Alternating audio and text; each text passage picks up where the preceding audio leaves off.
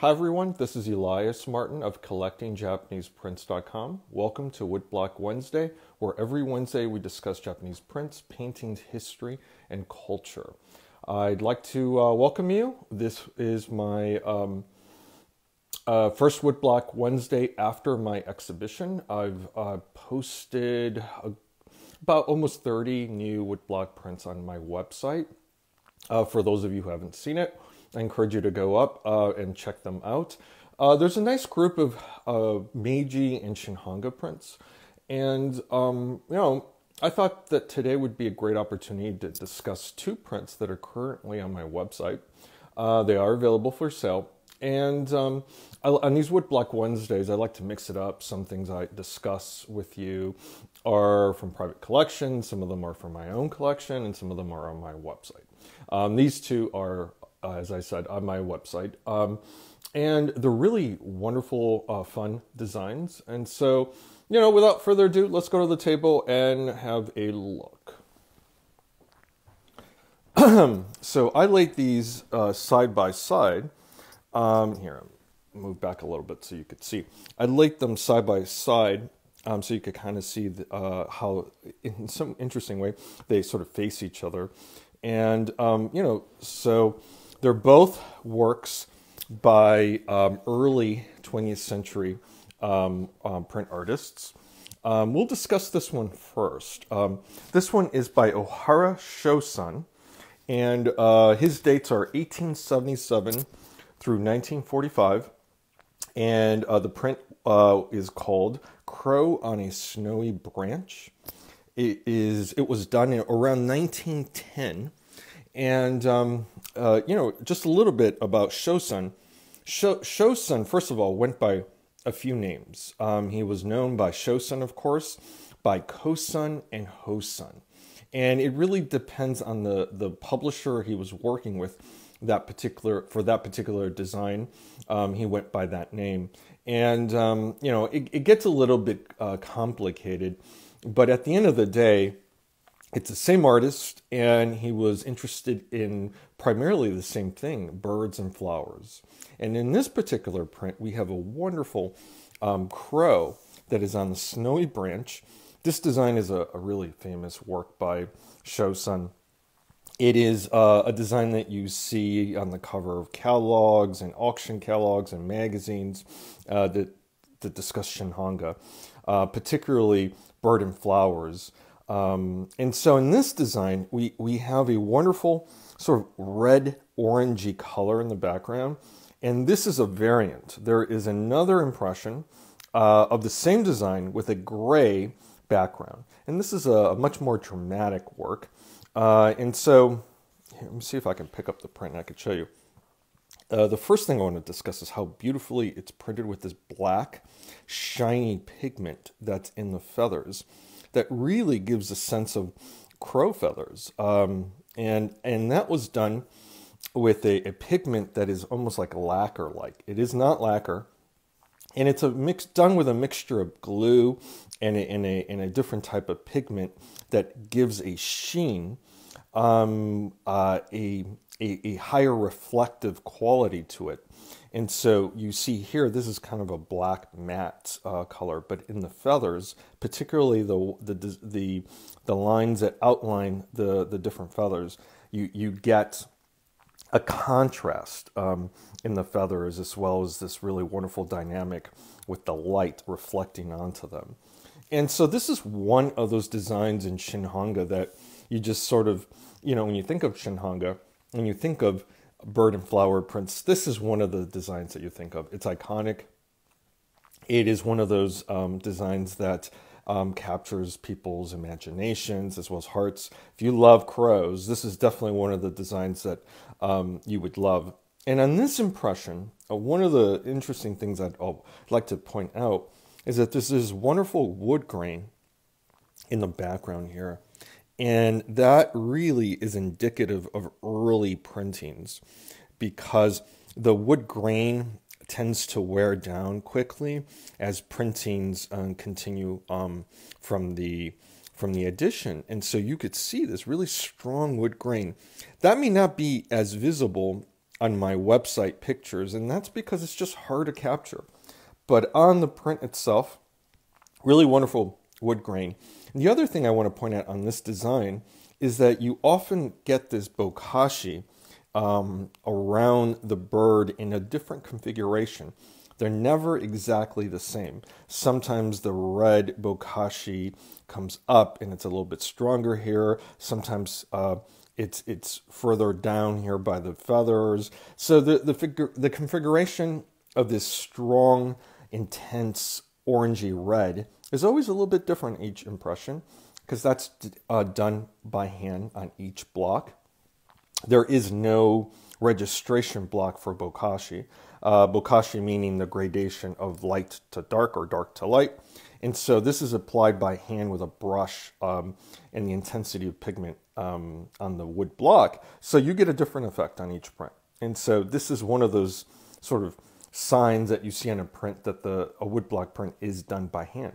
So I, I think it, the, this is quite neat. Uh, the other thing I should point out is that this design, um, there, there's some evidence that was reprinted later in the 30s or so. And one of the things that you can kind of tell uh, for later reprintings of this design is this this seal by um, by the artist here is missing, and uh, you see just the signature. So you, when you're looking for this design and you're interested in purchasing this print, make sure that there is a, uh, a seal there because you do see them in the marketplace without them, and those are later. And most likely they're done um, in the 30s, maybe even post war. It's not really known exactly when they were reprinted, but they were. So I, I should just point that out. And I'm going to zoom in so you could look at the print.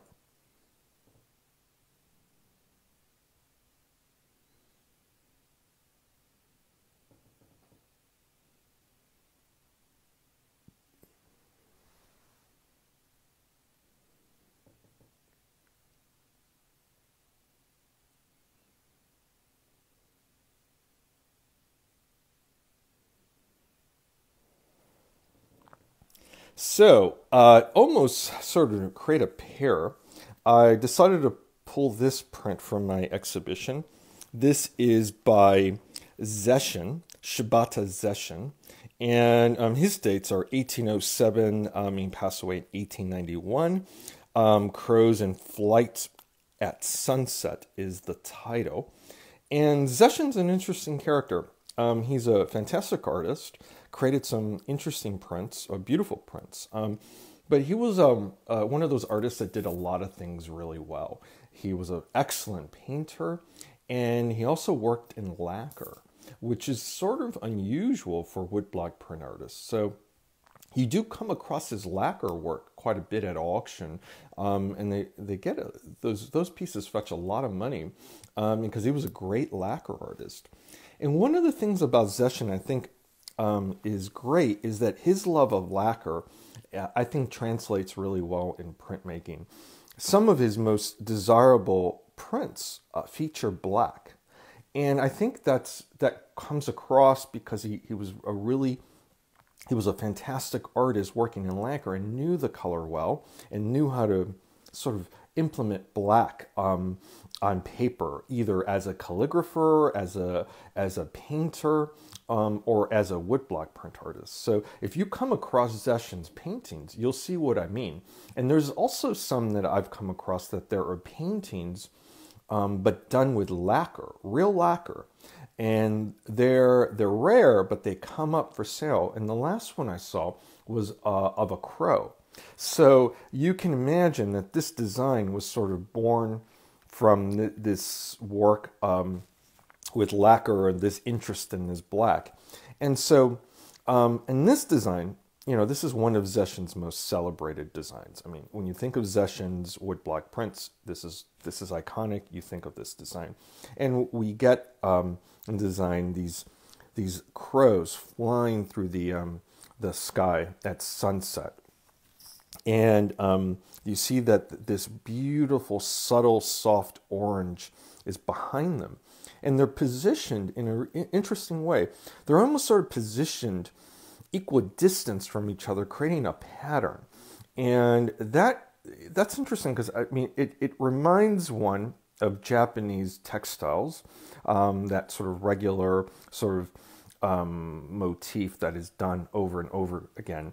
Um, so there's that quality to it, but there's also this really wonderful sort of whim, whimsical quality to it. The crows um, seem to sort of be, you know, sort of, they're caught in midair, but there's this wonderful sense of movement um, through this design, and that's because of how the he designed um, the upper part where he, he cuts off the most of the crow. We only see the back end of the tail there, so you you just see that little part, and so most of the crows um, in this composition are not shown entirely. This is the only one, and it's barely squeezed into the um, the composition. So there's this wonderful sense of drama and movement in the print. The other thing I think uh, that's quite striking about it is that though it's a sparse design, there's a lot of empty space here. The way that um, he shows the, the crows is really powerful and potent. Um, and um, in this crow, he darkens it. So it's quite dark here. And then he lightens the other two. And that creates a really sense of contrast, but also depth, and enhances that sense of movement across the, the, um, the plane here. So that's, um, that's some things I, I'd like to point out for the connoisseur. Much like the Koson that we just discussed, there are later impressions of this print, and they can be identified by the lack of the red artist seal here. So, you know, if you're interested in this kind of uh, this design by by Zeshin, do not purchase it unless it has this seal. There are later reproductions of this print too that are just basically, you know, in, in a in a nice way. I mean, they're reproductions, but they're basically uh, forgeries. They were done in the 20th century because this design was so popular um, that this design was recarved and reprinted. Sometimes you see it with a border, and that is not um, from, by Zeshin. It is a later reproduction. Um, and then sometimes um, you see it with a, a, different configuration of this writing here. This is his signature. He also indicates his age. Um, and so it's in- interesting. It, he This is one of his last works, in fact. I think Zeshin died a year later after producing this design. And so, much like Hokusai that signed his prints or his paintings eh, rather um, with his age sometimes he would sometimes sign something like old man um, mad um, um with painting at age 88 or 80 or something. And so Zeshin kind of did that as well. Um, and and so this design is also sort of he Zeshin's kind of indicating that you know he, of his age at this at this point in time.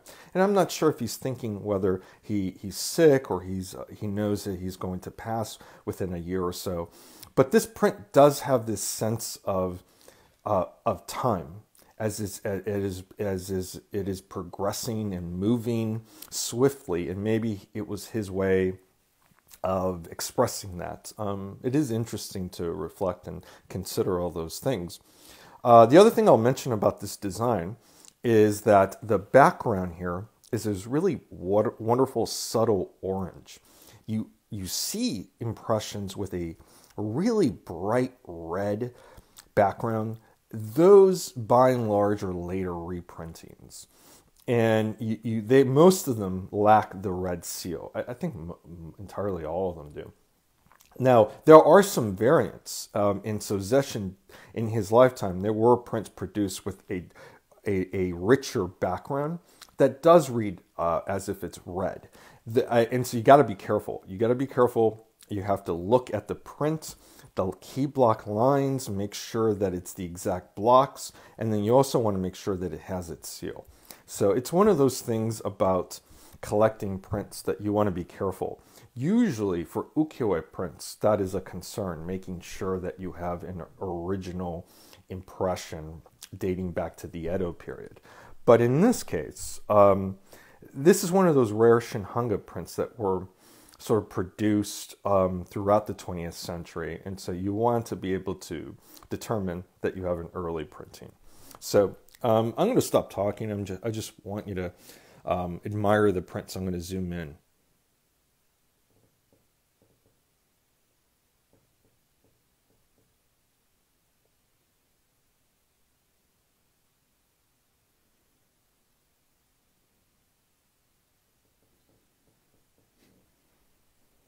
We'll go over to the other one that we just discussed.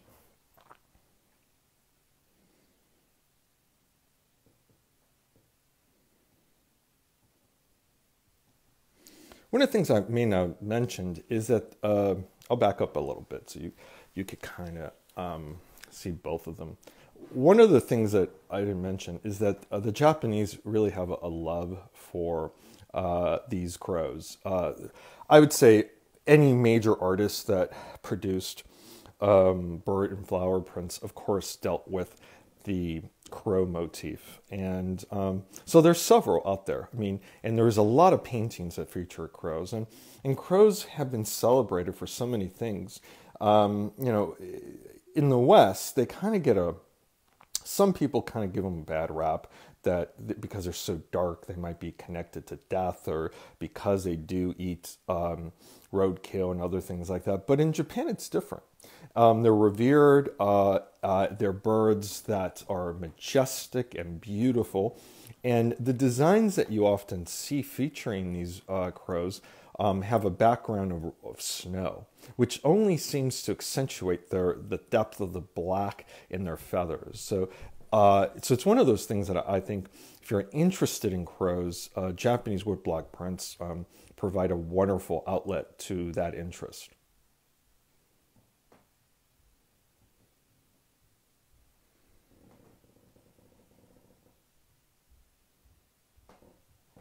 Now, in terms of the size of this, uh, this is sort of a, this is not a full Oban sheet. It's almost done to mimic a scroll format.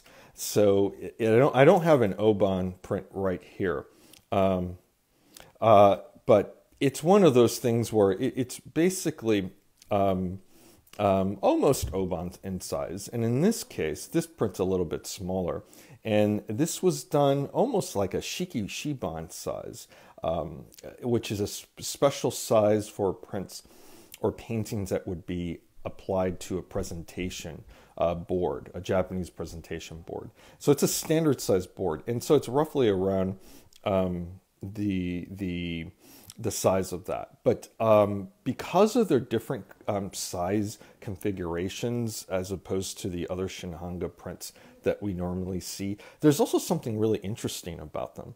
The format in, in which they produce sort of echo the design motif in each of these prints and create a really successful sort of um, view. It's, it's a design that the design reflects the, the shape and the shape really reflects the design and both work in um, in concert with each other to produce a really great um, design overall. Uh, and so this is one of those things that you know we don't often discuss in Japanese print collecting. Um, you know the sizing and the formats and how the the size and the format may work for or against the design. They're not always this successful. Uh, different formats uh, sometimes sort of you know, they, they work against the design in some cases. Um, not often, but uh, there are some examples that I could probably one day bring in and, and show you. Some of them seem kind of clumsy, but these two prints are are the opposite. They're great. The the shape of the format um, really echoes and strengthens the design. So, you know, again, these are two iconic designs um, of 20th century uh, Japanese printmaking. And I'm going to zoom in one last time so you could admire the print. And of course, both of these designs are on my website. So I have really large uh, scale images there. You can visit, it's collectingjapaneseprints.com.